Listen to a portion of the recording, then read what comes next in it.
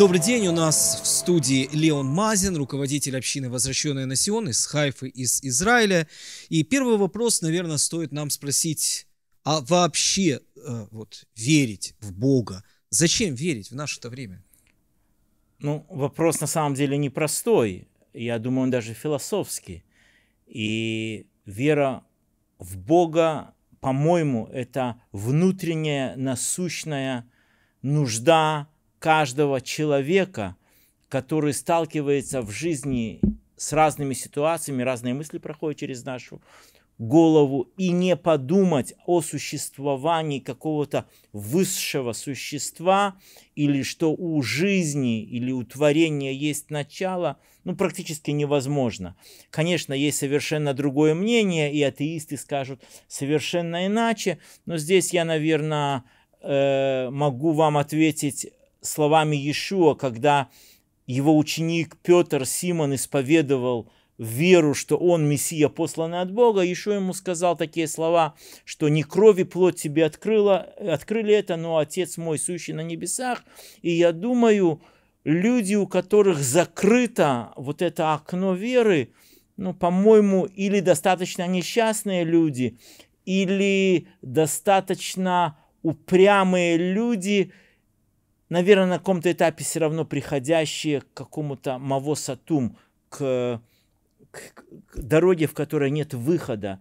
И я считаю, что это громаднейшая благодать, когда у человека пробуждается это желание, посмотрев вверх, вниз, в стороны, посмотрел на море, на лес, посмотрев, в конце концов, на рождение ребенка, или как человек, заболев, выздоравливает, или не выздоравливая, умирает, его хоронят, он задумывается, что-то не может быть вот так оно все оборвано. Есть какое-то за, запредельное э, понимание. И я хочу сказать, наверное, блаженны те люди, которым Бог дал вот это чувство искать духовность и находить его самого. Ну хорошо, человек определился с, э, с тем, что во что-то надо верить. И вот он, ну, литературно говоря, выходит из дома, а, думает, дай-ка я займусь своей верой. А, оборачивается вокруг, да, а тут же ш, выбор огромный. Ну, в некоторых странах сейчас, правда, помогают людям, запрещают некоторые организации, но в некоторых свободно, пожалуйста, что хочешь. Какую конфессию выбрать, куда податься. Окей. Okay. Смотрите, я ни в коем случае не хочу там э, критиковать какие-то другие конфессии, и я могу сказать, что в своем личном поиске и это было конец 80-х, начало 90-х, когда просто наплывы нужды в духовности посещали. И, как вы понимаете, ну, как бы я из еврейской семьи, но из светской семьи. И то, что у моего дедушки на столе были молитвенники, еще ни о чем не говорило. То есть он, да, возможно, и веровал, хоть с нами он ни с кем этим не делился, потому что там было запрещено. Но потом, в конце 80-х, в начале 90-х, когда вот я, допустим, приехал, в моем случае, в Израиль, и вот эти порывы к духовности, они приходили, то в моем случае, и я благодарен Богу именно за это откровение – я сейчас хочу сказать, что вера в Бога, основанная не только на знании священных писаний, на логических каких-то выводах, но на откровении, она выносит нас, наверное, туда, где нам нужно быть. Я в своем случае хочу сказать, что я рос в светской еврейской семье, и особенно там, где я рос, христианство Иисус или Иешуа, как мы его знаем, он никогда не был особенно популярным. Э, почему он не был популярным? Потому что в бывшем Советском Союзе евреи прошли через погромы, через унижение, через антисемитизм. В других странах мира те же евреи прошли через инквизицию и другие погромы или другие гонения. Поэтому у еврея с Иисусом всегда очень сложные отношения. В моем случае это было откровение, которое меня просветило в один момент, но это не значит, что я слепо пошел за этим откровением. То есть в моем случае откровение предшествовало изучению. И потом уже изучая, я утвердился, что то откровение и переживание, оно вполне соотносится с откровением Божьим для народа Израиля, то, что записано в так называемом Ветхом Завете, правильно сказать, Танах, нету никаких ветхих вещей. И потом оно записано в Новом Завете, опять-таки евреями для евреев и уже потом для остального мира. Короче говоря, в моем случае это было борение понять, предаю ли я свою народ или не предаю. И потом, когда я понял, что быть евреем и веровать в Иешуа – это заповедь, это одна из заповедей. Во Второзаконии написано «Я пошлю вам вождя, то есть, или точнее, там Моше, говорит, будь вождь, как я, и кто отвергнет его, тот исключится из числа народа Израиля. То есть, Израилю были поставлены определенные вещи, поэтому я здесь как бы немножко со страхом, без того, чтобы сказать, вот ты должен, но это особенная милость, познать Бога, познать Бога Израилева, уточню, познать Его как единственного, Шма Исраэль, Адунай Лугейну, Адунай Хад, единственного, единоличного Господина всего и проводника к Нему, Его Сына Иешуа. То есть это как бы Алеф Бет или э, а, АБВГД. То есть, и я считаю, что вот Бог дал нам эту милость.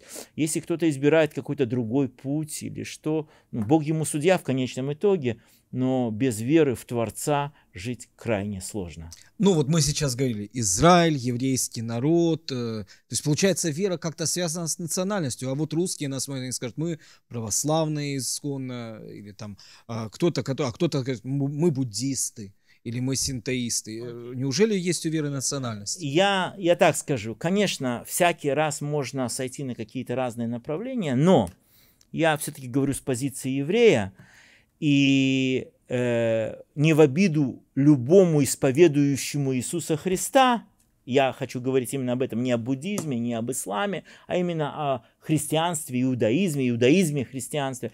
Всякому исповедующему Иисуса Христа важно знать, что Бог начал с еврейским народом. И в Ютубе, в разных каналах есть э, также и мои, в том числе, некоторые семинары и разборы, где мы э, говорим о теме того, что творение заблудилось, сбилось с пути, выбрало другой путь. Это было описано в 9, 10 книге Бытия, в 11 книге Бытия. И потом Бог избирает Авраама и в нем созидает еврейский народ или через него, делает этот еврейский народ определенным инструментом в руках самого Творца, чтобы исправить какие-то земные дела. То есть здесь евреи не как бы сами, вот мы, вот и вот наш Бог, а Бог делает инициативу, он избирает Авраама, говорит, твои потомки послужат к благословению, можно поставить слэш и сказать, исправлению мира.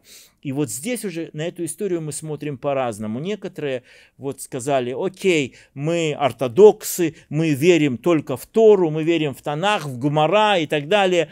То, что не принимает Иешуа Мессию, я имею в виду последующее понимание Гмара, Мишна, все остальное. Но, но, но, но здесь есть определенная проблематика. Здесь есть определенная проблематика, и э, как один также неверу, неверующий в Иешуа Равин, без имен и без фамилий, сказал интересную фразу. «Я верю, что Тора, она актуальна каждый день. И если мы застыли только там 4000 лет назад или 3000 лет назад, и мы не видим, как она развивается дальше, мы не можем следовать ей. И я понимаю, что 2000 лет назад это же Тора развила то, что называется, или того, кого называют Иешуа, Мессия, или Спаситель, Господь Иисус.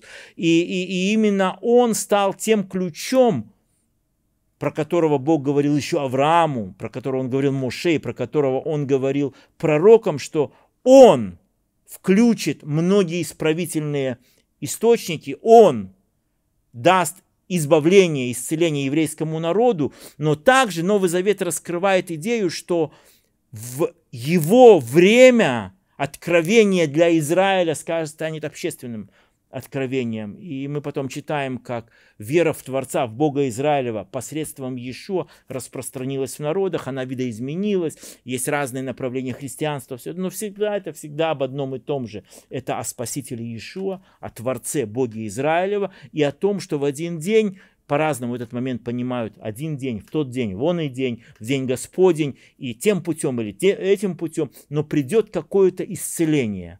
Я считаю, что in general в основном это путь, и стоит его придерживаться. Спасибо.